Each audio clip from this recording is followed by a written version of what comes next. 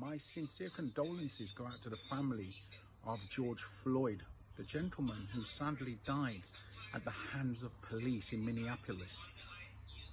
It's a very tragic way for someone to lose their life. And it's going to be very difficult for the family moving forward and indeed the community.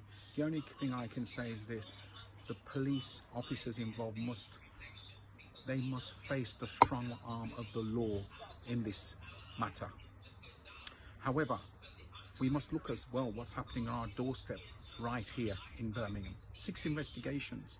The IOPC have done a press release today saying that they're investigating six incidences or six reports of excessive force against members of the black community right here in Birmingham since the 27th of February of this year.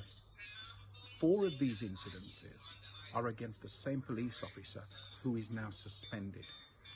Clearly, we know there's a lot of tension about this, but support is at hand. And the important thing to know is that although the tension is there, the people that I've been supporting, which is three of these cases, have felt a lot better when they see something happening.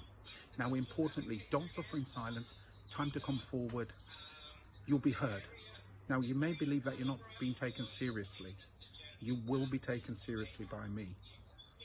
I call upon the Police and Crime Commissioner and the Chief Constable to urgently address this issue because clearly we do not want what happened to George Floyd in Minneapolis to happen to one of our kids here in Birmingham.